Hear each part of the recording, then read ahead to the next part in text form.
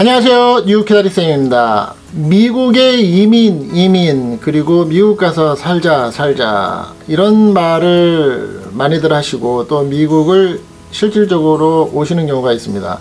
그런데 미국에서 막상 살고 계시는 분들은 어떤 형식으로, 어떤 형태로 신분을 해결하시고 또한 살고 계실까요? 대표적인 케이스로 미국에서 사시는 분들은 어, 네 가지, 다섯 가지 형태로 정착을 하기 시작하시는 것 같습니다. 자, 첫 번째로는 제일 많이 하시는 부분이 학생 비자입니다. 학생 비자로 오셔서 졸업을 하고 그리고 나서 취업을 한 상태에서 스폰서십을 받고 영주권을 해결하시는 경우가 있을 수 있고요. 두 번째는 주재원 비자로 오시는 부분입니다. 주재원 비자로 오셔서 마찬가지로 주재원 비자 신분 동안에 영주권을 신청하셔서 들어가시고 영주권으로 사시고 계시는 분들이 계시고요. 세 번째로는 미국에 관광으로 오셨다가 어 그냥 고국으로 돌아가지 않으시고 불법 체류로 신분을 무시하신 채로 살고 계시는 분들이 또 계십니다. 또한 네 번째로는 미국에 취업으로 와서 취업 이민 비자로 신청을 하셔서 영주권까지 들어가시는 경우입니다. 또한 마지막으로는 제1 비자처럼 교환으로 아니면 또한 어, 실무적인 연수 개념으로 오셨다가 영주권을 가지시고 사시는 경우가 있으실 수 있습니다. 자, 이렇게 네 가지, 다섯 가지 정도의 미국에서 사시는 분들의 신분 해결 방법으로 인해서 마지막으로 어쨌든 결정적으로 결론을 내리고 살아야 되는 부분은 영주권입니다. 그 다음이 내가 필요로 한다면 시민권이겠죠. 자, 그렇다면 영주권은 내가 미국에 살면서 가지고 있어야 될 가치가 있을까요? 학생 비자로 왔으면 학생 비자 신분을 가지고 사시면 되는 거고 취업 비자로 오셨으면 취업 비자로 사시면 되는 거고 또한 주지원 비자로 오시거나 연수 비자로 오셨으면 연수 비자로 살면서 주지원 비자로 살면서 있어도 문제점이 없지 않, 않은가요? 막상 나중에 영주권이나 신분을 해결하기 위한 마지막 단계인 시민권을 획득한 다음에 별거는 없습니다. 대부분이 그렇게 모든 신분을 최종적으로 클리어하게 하신 분들 반응도 똑같고요. 그런데 왜 미국에 오면서 여러 가지 신분 중에서 영주권에 대한 부분을 크게 생각하고 중요하게 생각할까요? 분명히 그 부분은 가치가 있기 때문에 많은 부분들이 판단을 그렇게 하실 겁니다. 그렇다면 왜 영주권을 다른 신분 체계인 학생 비자와 취업 비자 그 외의 다른 연수 주재원 비자보다 영주권을 우선으로 삼을까요? 네, 답은 마음고생입니다. 그리고 불편함이죠. 다른 신분 비자로 가지고 계시는 동안에 삶에 있어서의 큰 불편함은 사실 없으십니다. 운전면허증도 하실 수 있고 은행도 개설하실 수 있고요. 그 외에 관공서도 이용하실 수 있습니다.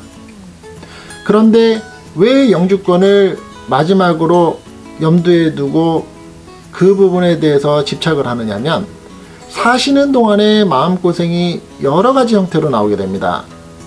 예를 든다면 취업비자나 학생비자를 가지고 계신다 그러면 취업에 대한 내가 보장이 불안정하게 됐을 때 학생 비자인 경우라면 공부가 다 끝나고 났을 때 그 다음에 연수나 주재원 비자도 마찬가지로 내가 정해놓은 기간 동안에는 문제가 없겠지만 그 기간이 끝나갈 때쯤에 대해서 많은 고민들을 하십니다. 어떻게 나머지의 신분을 이어가야 될지. 하지만 예전보다 취업 비자가 H1B 비자가 어려워지고 있는 건 사실입니다. 금년 같은 경우에도 4월달 1일, 2일날 접수를 마감해야 되는데 예전에 비해서 경쟁률 어, 어렵고 또한 어, 승인이 나는 어떠한 내 업무나 내가 들어가는 취업 부분이 IT 부분이 더 많아지고 있기 때문에 그 외의 업종이나 내가 들어가고자 하는 직업의 분야에서 승인될 확률은 점점 떨어지고 있습니다.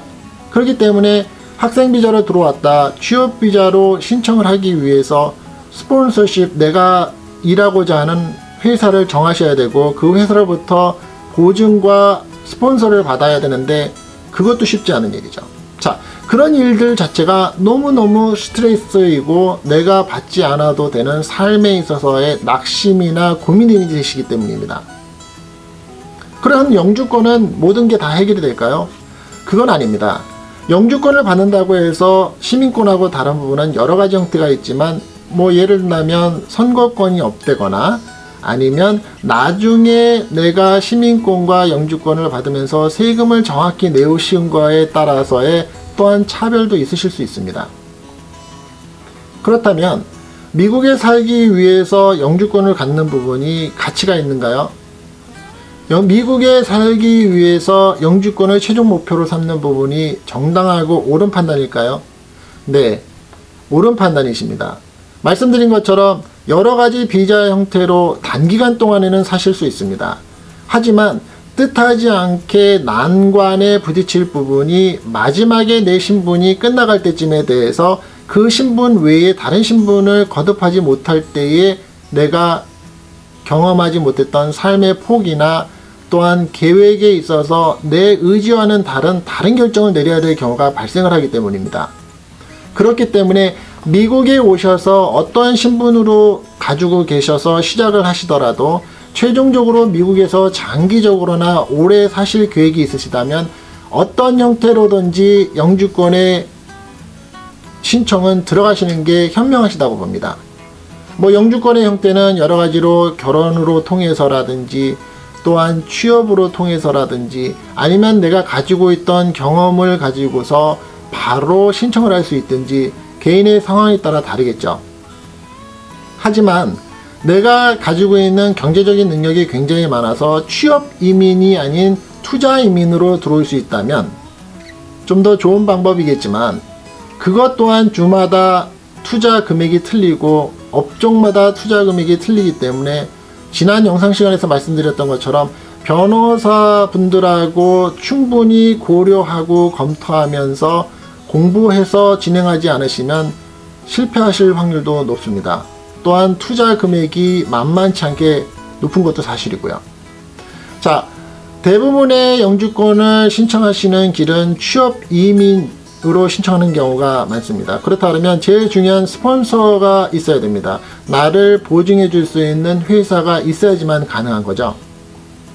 그런데 경제가 힘들다 힘들다라는 부분들을 많이 하시고 또한 세금이 높아지고 있으면서 많은 회사들이 스폰서를 해주는데 꺼려하고 있고 실질적으로 스폰서를 하면서 어, 세금을 많이 내는 회사이더라도 거절되는 경우가 있고 또한 세금을 꾸준히 내왔지만 회사가 좀 작다 싶어도 승인이 되는 경우가 있습니다. 현명하신 방법은 내가 미국에 들어오셔서 어떤 형태의 신분으로 시작을 하시더라도 내가 장기적으로 살 계획이 있고 가능한 또한 가치가 있는 나라라고 판단하셔서 그 계획을 가지신다면 처음부터 영주권을 내 방향에서 내 환경과 내 사정에서 어떻게 이어나가셔서 빠른 길에 해결을 하실지를 검토하시는 게 좋다고 봅니다. 개인적으로는 지난 영상 시간에도 말씀드렸지만 세 번의 영주권 프로세싱의 경험을 가지고 있는 저로서 저 또한 개인적으로는 영주권을 받는데 10년이라는 시간이 걸렸습니다. 요즘에 취업 이민으로 있어서 2순위와 3순위로 영주권을 들어가는 데 있어서는 굉장히 프로세싱이 빠른 시기입니다. 따라서 여러분들이 나름대로의 가지실 수 있는 취업 이민의 영주권 길에 되도록이면 여유롭게 생각하시는 것보다 빠른 시간 내에 결정을 하시는 게 좋다고 봅니다.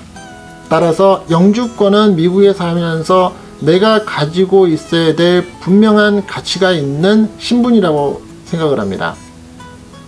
그래서 처음에도 말씀드렸던 것처럼 내가 영주권을 막상 받고 난 다음에는 별거 아니고 내가 살아나가는 데 있어서 크게 달라진 게 없을 것 같지만 막상 영주권이 없으면 그 어렵지 않다라고 생각되는 부분이 큰 난관에 부딪히는 경우가 있으실 수 있는 거고 영주권이 해결되지 못하기 때문에 낭패를 보셔서 다시 한국으로 돌아가셔야 되는 경우가 발생할 수 있습니다. 물론 불법 체류 신분으로 인해서 눈치를 보고 자유롭게 행동하면서 살아나가지 못하는 삶을 택하실 수 있는 경우도 있을 수 있겠죠.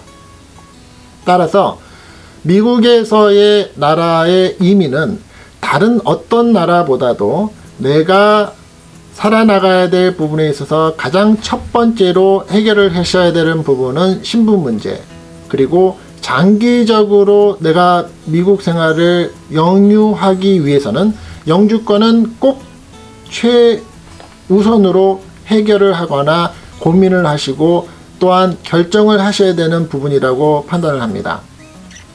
지난 영상 시간에서 말씀드린 것처럼 영주권을 신청하시면서도 옳은 방법으로 선택을 하셔야 되고 공부를 많이 하시고 내 케이스는 다른 사람들과 항상 같을 수는 없기 때문에 내 케이스를 정확하게 뒤돌아 보시고 인지하셔야 된다고 생각을 합니다. 자, 미국 생활 그렇게 녹록하지는 않습니다. 내가 신분이 해결되지 않으면 자유롭지 못하고 행동 규제와 내가 삶에 있어서의 처리해야 될 각종 일들이 규제가 너무 많은 나라이기 때문에 분명하게 판단을 하시고 꼭 고려를 하셔서 성과에 있는 영주권 성공의 길로 여러분들이 들어가시기를 바라겠습니다. 감사합니다.